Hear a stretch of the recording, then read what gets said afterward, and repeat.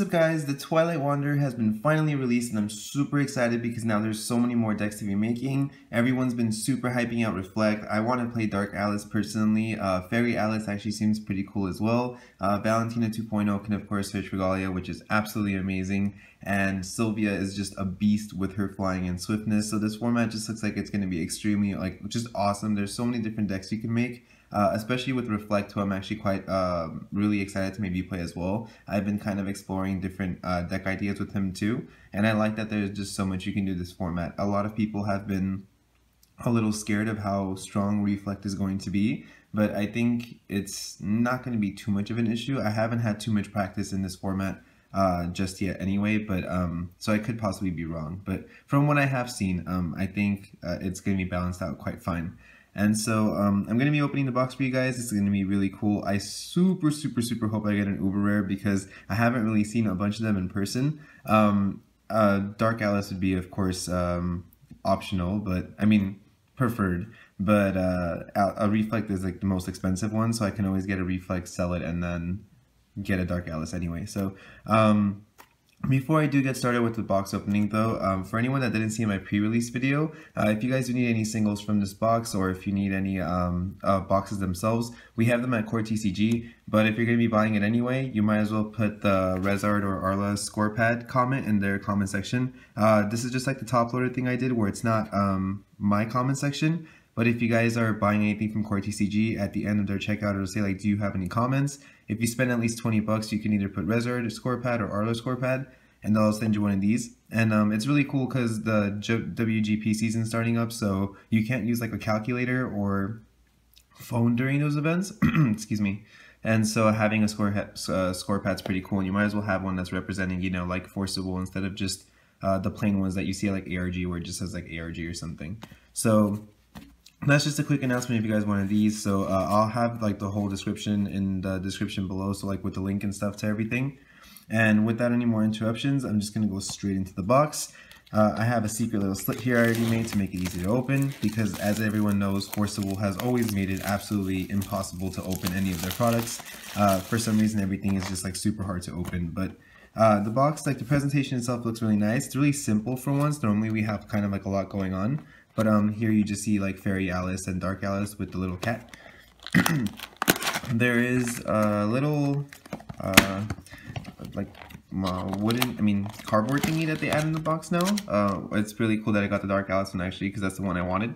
Uh, so essentially, I'm not going to do it, but these little things hold it up so that if you're trying to show the box, sorry, it's like really close, but uh, it'll kind of be holding it up right here and then it'll kind of represent the box instead of the art that you normally see. So I think that's really cool as well. Uh, I'm going to be going through the packs extremely quickly. For everyone that knows, I don't like doing uh, box openings that take like 20 minutes. I just go straight through it and try to have some discussion on some cards, sorry about that, uh, during the way. So um, I normally skip through all the commons as well, uh, and uncommons and rares. I'll, uh, Lancelot's been reprinted, foil stones are in this, and Arthur. These are This is actually a really good first pack just because of how amazing these cards are. Um, Arthur has been talked about super, just like so much. He's unaffected by um, dark and uh, fire. So you can't target him with any of those kind of like Crimson Girl. And he can just, uh, he's 12-12, gets an 8, uh, 800 defense when he taps, making him 2000.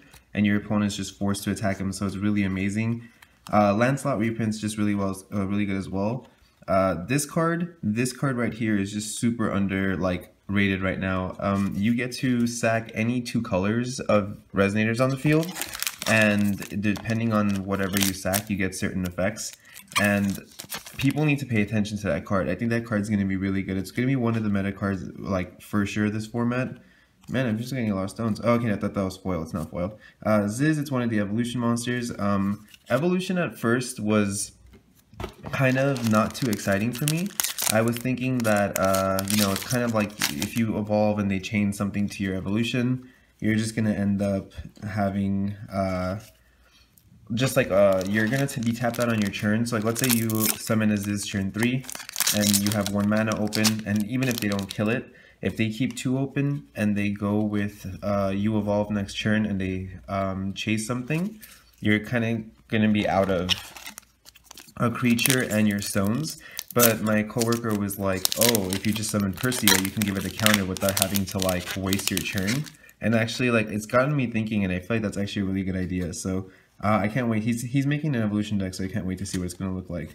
So our first stamp is Glorious Castletown. This is of course a reprint. I gotta say that it actually looks really great though. Like um, I never really paid attention to all the detail, all the like markets down here and stuff. I never really uh, paid attention to because of like the text box.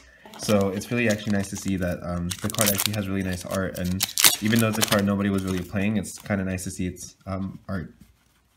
Um, moving on, we have uh, the Overload Baptism. Um, I'm not too excited for Valentina 2.0. I'm sorry, don't kill me. Like, she's gonna, like, literally, like, turn me into a shadow right now. But, um, I don't know why. I feel like it was uh, the original, like, 28 Regalia deck. The Flame Sprite is really cool, too, by the way.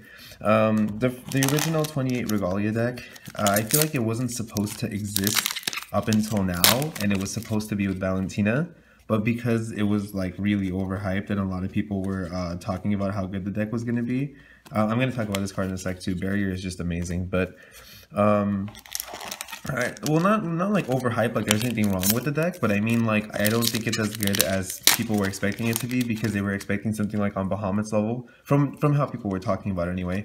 But um, I think uh, Valentina was supposed to be that deck that was like you know just a bunch of regalias, and because we've already seen it and people kind of know how to counter it properly now, it's like not so exciting because they're you know you already know how to deal with it. So um, for Barrier of Shadows, I think that card is absolutely ridiculous. I don't think it does anything to reflect, by the way.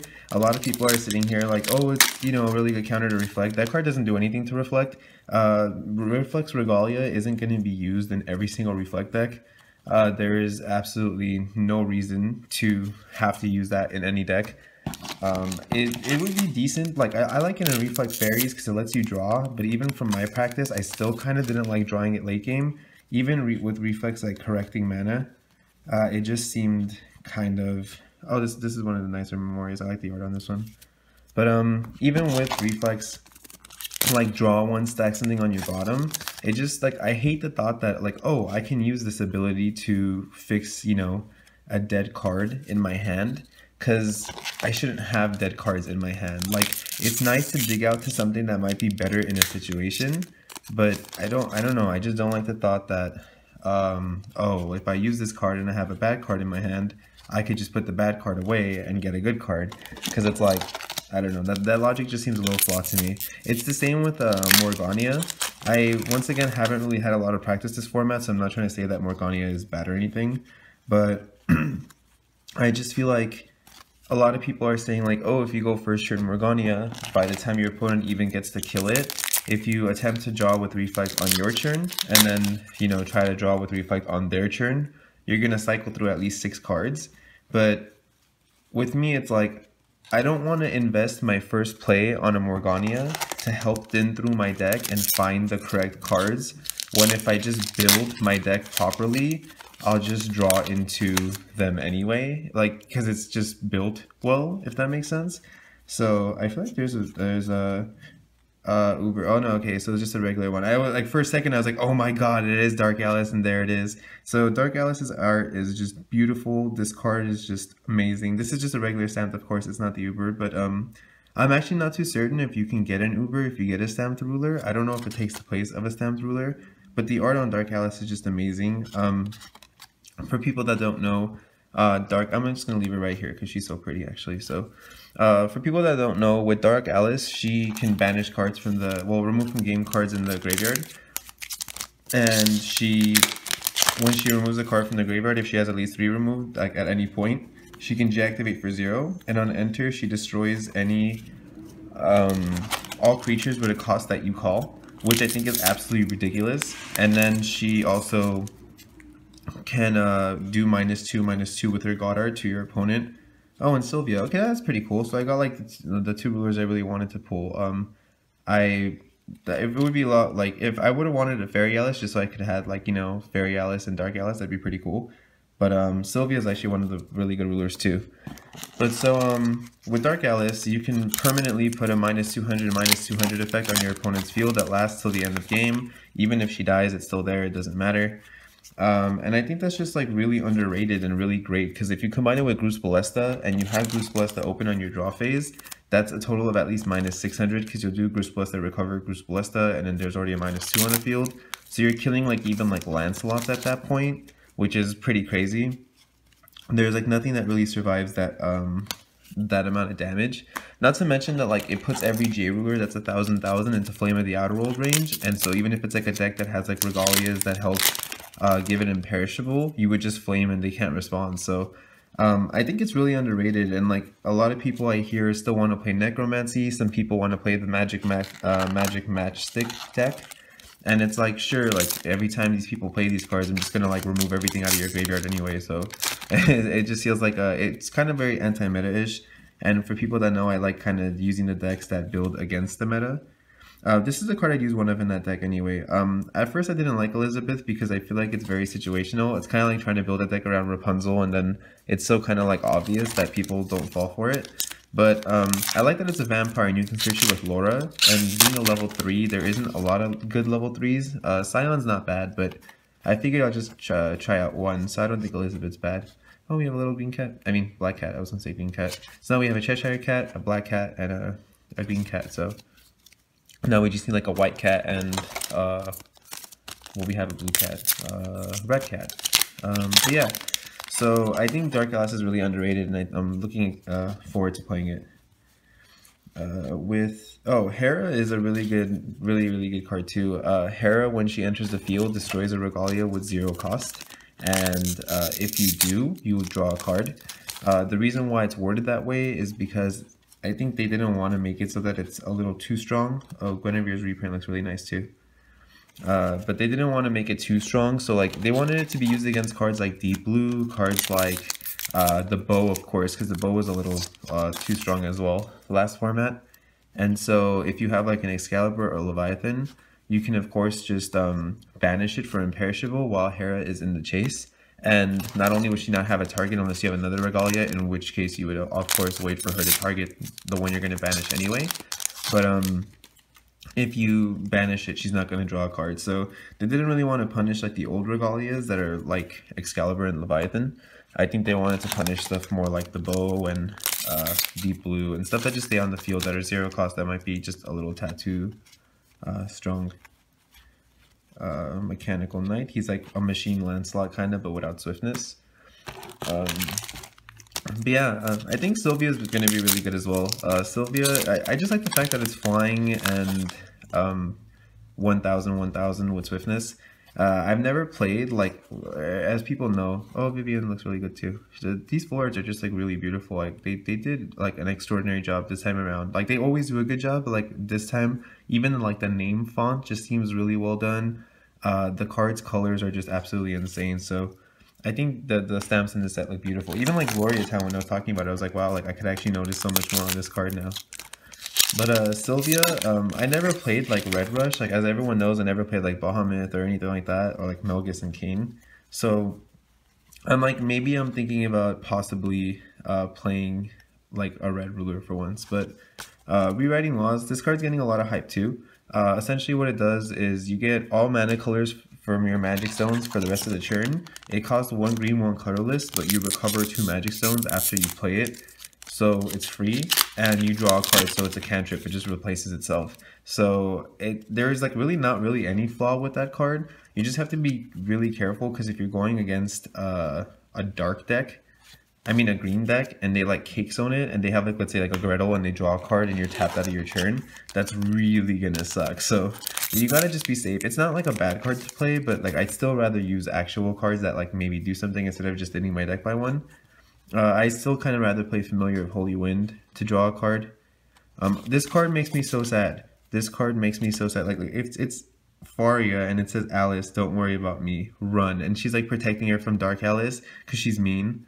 And every, everyone knows I do like lore videos and like this when I saw this card and like, I just read it and I was like Faria no like I think Taylor Norris would be happy with this though because like he just wants Faria to die so hard uh, for anyone that doesn't know when he went to um oops when he went to Worlds, he uh he played against the Faria guy, and like back then, if you tapped Excalibur before you activated, it didn't like apply for the God Art because of the way it was worded on the English card.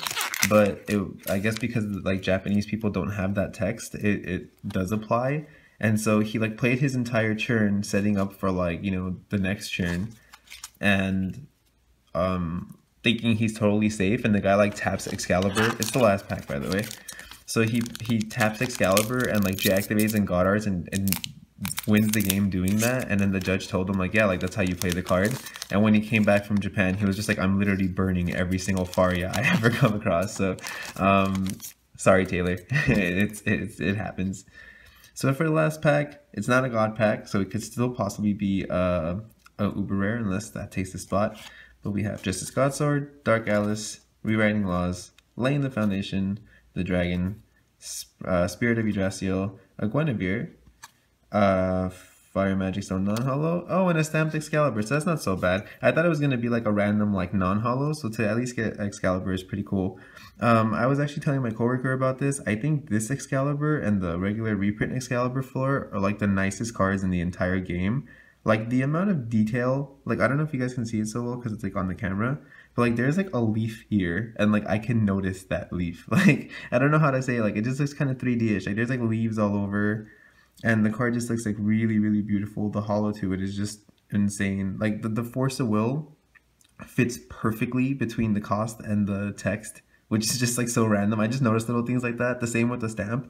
Like it's not too far from the text here and it's not covering anything on the top here. It just seems like legit the perfect um uh, stamp. Like, like I feel like I could just like pick out the sword and just like hold it because it's like so 3D looking. But um, I hope you guys enjoyed the box opening. Don't forget about checking the description to, to get all your cards. It's really, really cheap. Um, I think we did the prices quite fair.